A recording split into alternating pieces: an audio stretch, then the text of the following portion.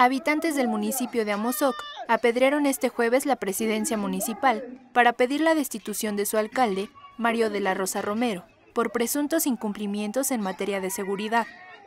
Versiones de medios de comunicación locales señalaron que los inconformes bloquearon las carreteras Puebla-Tehuacán y Acajete Oriental, ya que acusan al alcalde de nepotismo y propiciar el alza de los delitos en dicho municipio.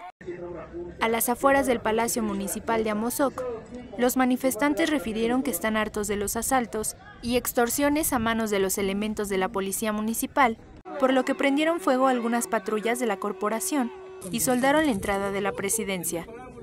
Los inconformes también acusaron al alcalde de La Rosa de no trabajar y de no solucionar ningún problema que aqueja a.